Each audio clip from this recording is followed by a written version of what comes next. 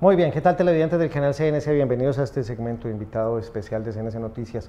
En el enlace nacional, 10 departamentos con nosotros hasta ahora, precisamente a través del canal 10 de su compañía de cable. Después del noticiero, hoy está con nosotros precisamente el secretario de Hacienda del municipio de Armenia, el doctor Jackson Andrés eh, Pérez. ¿Cómo le va? Me alegra saludarlo. muy buenas tardes, eh, saludo especial para todos. Muy bien, muy bien, gracias a Dios. Creo que eh, al frente de la Secretaría de Hacienda, un poco eh, complejo el inicio de administración, como es natural, pero haciéndole frente a muchas cosas y situaciones actualmente. Estamos en el sexto mes del año 2024. En materia fiscal, ¿cómo le ha ido a Armenia en temas de recaudo, en temas de impuestos, eh, señor secretario? Bueno, varias situaciones en relación con la dinámica fiscal. Lo primero que se debe entender es que actualmente no solo el departamento del Quindío, sino el país se encuentra en una dinámica económica de estancamiento, si se, permite el, término, eh, no de recesión, pero sí estancamiento económico. Y ese estancamiento económico está demostrado, tiene una repercusión en los recaudos fiscales de los entes territoriales y de la misma nación. Nosotros hablamos de estancamiento de inversión. E, e, estancamiento económico significa el crecimiento en términos de PIB, en términos de producción de ingresos lo tenemos detenido. No está creciendo, tampoco está creciendo, está ahí. O sea, la economía está estable, pero no crece. E, exactamente. Le entiendo. estamos Bien, en ese estancamiento. Ese estancamiento le pega a las finanzas eh, municipales, departamentales y nacionales. No es gratis, que hace poco escuchamos el ministro de Hacienda hablando de un aplazamiento de recursos del orden nacional, porque los recaudos no se estaban comportando. Recordarán ustedes esa situación que eh, fue producto del, algún bullicio a nivel nacional. Eso también le pasa a los entes territoriales. En el caso de Armenia, tenemos nuestras dos principales rentas, tenemos el impuesto predial unificado y tenemos el impuesto de industria y comercio. El impuesto predial unificado, decirles, va muy bien. Al corte del mes de junio estábamos bordeando el 96% del recaudo proyectado para toda la anualidad. Es decir, lo que teníamos proyectado para todo el año casi que lo recaudamos en su totalidad en seis meses. Entonces, el impuesto predial unificado de magnífico comportamiento. Lo que habla muy bien además de la cultura de pago del armenio, ¿cierto? Siempre lo he dicho, desde que eh, soy secretario de Hacienda, el armenio tiene una excelente cultura de pago. Tiene tan buena cultura de pago que si yo no le aperturo la caja a las tesorerías el 15 de enero, tengo un ruido y un bullicio a las afueras de la tesorería porque a la gente le gusta madrugar a pagar. Y eso es un comportamiento y una característica muy positiva de todos los armenios. Tengo el impuesto de industria y comercio. Y ahí sí, en el impuesto de industria y comercio, sí hemos sentido que tenemos una especie de rezago, o voy a utilizar el mismo término que acabo de utilizar para efectos del crecimiento económico, tengo un estancamiento en el recaudo de impuesto de industria y comercio. Parece ser que el estancamiento en el que nos encontramos le viene pegando de forma más directa a los empresarios. El predial me lo paga la ciudadanía, me lo pagan las personas naturales, los empleados, los empresarios también, por supuesto. El dueño de su casa, la vecina, el señor de la tienda. Así es, pero en generalidad me lo, paga la totalidad de la ciudadanía. Pero, pero yo, a ver si lo entiendo. Entonces, ese estancamiento que se produce a nivel central viene afectando, básicamente es el sector comercial e industrial en Armenia. Y de servicios. Y de servicios, perfecto. Entonces, cuando yo veo industria y comercio, industria y comercio es el reflejo de lo que le está pasando a los empresarios, ¿no? Y en ese sentido, eh, al corte del mes de junio teníamos un rezago en industria y comercio comparado con el año inmediatamente anterior de 3 mil millones de pesos. Es decir, tendría que ir 3 mil millones de pesos por encima, de lo que iba recaudando. ¿Listo?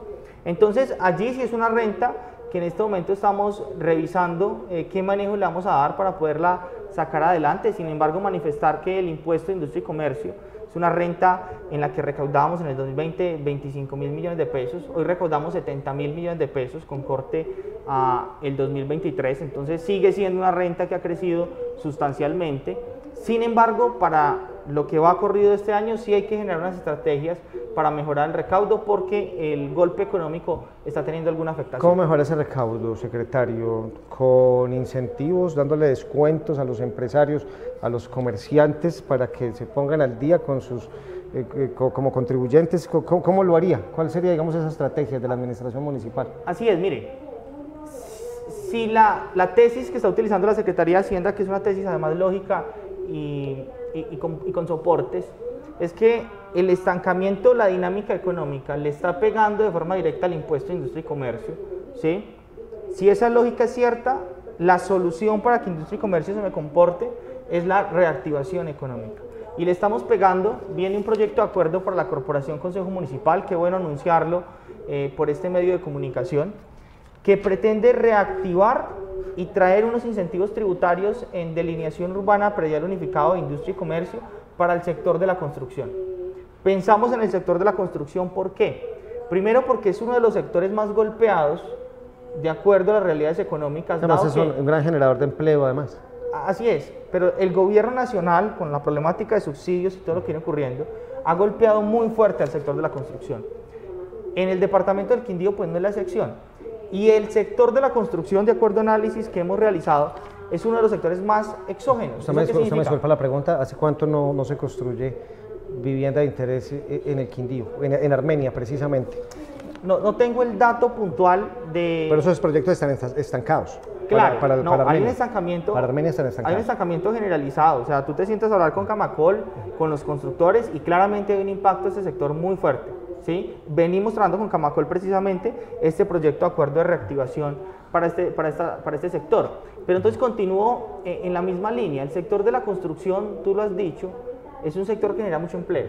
Pero no solo genera empleo, sino que los materiales, pero también esa mano de obra eh, que contrata a través de los productos de construcción sale a comprar, porque obviamente tiene familias que sostener y esto me empieza a dinamizar los diferentes sectores. Se vuelve una dinámica circulante. Se vuelve una dinámica eh, circular que se empieza a derramar en todos los sectores económicos. Entonces, en esta medida tenemos la intención de reactivar el sector de la construcción para que de esa manera podamos reactivar la economía y reactivando la economía todo esto pueda volver a generar una vuelta vía el impuesto industria Yo le pregunto, la estrategia. Yo le pregunto si el Ministerio de Vivienda, el Fondo Nacional del Ahorro y estas entidades del Estado colombiano que tienen esa gran responsabilidad con las familias de construir viviendas de interés social, no lo hacen porque la plata pues básicamente está retenida a nivel central. ¿Cuál sería la, dinámica que tiene que hacer la administración municipal? ¿Cómo salir del meollo y cómo trabajar conjuntamente con la mesa de la construcción con Camacol precisamente para, digamos, soportar nuevamente la economía de un sector tan importante como es la infraestructura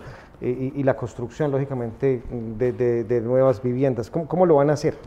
Bueno, eh, totalmente de acuerdo en algo, pero tenemos también que ser claros. Las competencias de los niveles de gobierno, nacional, departamental y el municipal, juegan un rol fundamental en la activación de proyectos de vivienda. ¿sí? O sea, no es un tema que podamos decir, lo solucionamos a plenitud desde el municipio. Lo voy a hacer yo como Armenia, ¿no? no ¿sí? Es un tema que tiene que ser con estrategias en conjunto. Luego, desde el municipio de Armenia sí hay muchas situaciones que, que podemos hacer para incentivar este sector de la construcción. ¿Qué venimos haciendo? Creo que esto es muy positivo. Venimos gestionando el suelo. 2022, plan de ordenamiento zonal, que le dio norma a todo lo relacionado con la parte de la avenida Centenario que no tenía norma. Venimos con la modificación excepcional del POT, que la aprobaron ahora iniciando año. Esa modificación excepcional del POT me va a permitir adelantar planes parciales para desarrollar mis áreas de expansión. Eso también eh, hace que eh, se tenga más suelo para desarrollar y que incentive el sector de la construcción.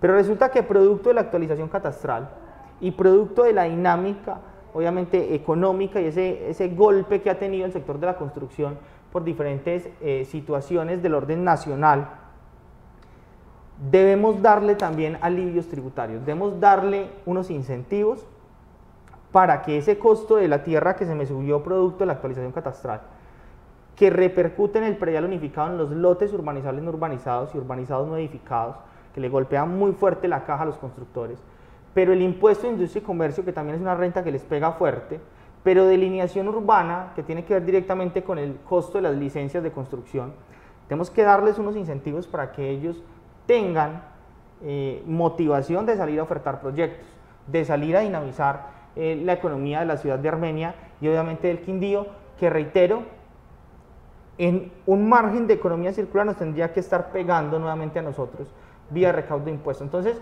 si bien Obviamente el sector de la construcción como un actor fundamental lo debemos incentivar. Desde lo que compete a la Secretaría de Hacienda, lo que nos interesa es que la economía no se me caiga para que mis recaudos no, pueda, no, no disminuyan y creo que nos va bien a todos. Reactivamos la economía, generamos empleo, dinamizamos diferentes sectores económicos y de una vez también la administración municipal le pega al recaudo de forma positiva. Que bien, hace unos días precisamente, durante esta semana estuvo usted en el Consejo Municipal, donde además pues, le han solicitado a los cabildantes la autorización para comprometer vigencias futuras. Yo le pregunto, ¿esas vigencias futuras chocan con la armonización del presupuesto o eso no tiene nada que ver? La vigencia futura solicitada a la Corporación Consejo Municipal es una vigencia futura de vigilancia, garantizar la vigilancia para la administración municipal y los predios que le compete cuidar, más las instituciones educativas de la Secretaría de Educación. Se compone de funcionamiento e inversión. Tiene las dos connotaciones o secciones presupuestales.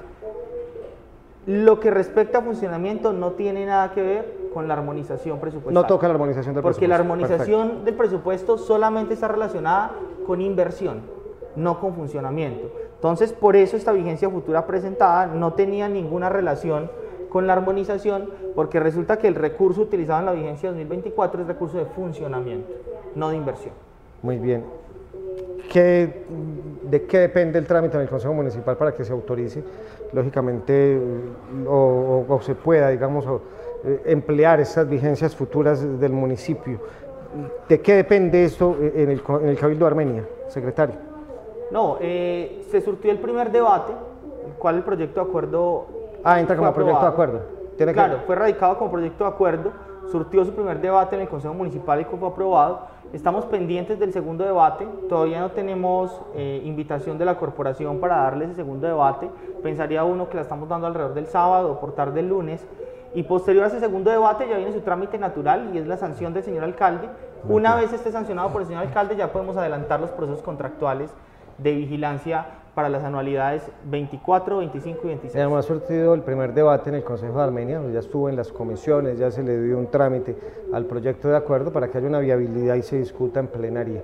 Secretario de Hacienda del municipio de Armenia, Jason Andrés Pérez, gracias por estar con nosotros, por la claridad, lógicamente, con el noticiero. No, muchas gracias a ustedes, siempre atentos a lo que dispongan, la Secretaría de Hacienda abierta a contarle a la ciudadanía qué estamos haciendo, cómo lo estamos haciendo y los impactos que esto tiene, por supuesto, para ellos. Y muy pendientes además de los descuentos y, lógicamente, mm, los incentivos que va a entregar la Secretaría de Hacienda a los comerciantes, a las industrias, para que, lógicamente, se pongan al día con su impuesto de industria y comercio y le cumplan a la ciudad. Así es, claro que sí, estaremos pendientes. Nuevamente, muchas gracias por la invitación. A usted muchísimas gracias, es el secretario de Hacienda del municipio de Armenia, el doctor Jason Andrés Pérez, con nosotros en este segmento de invitado especial.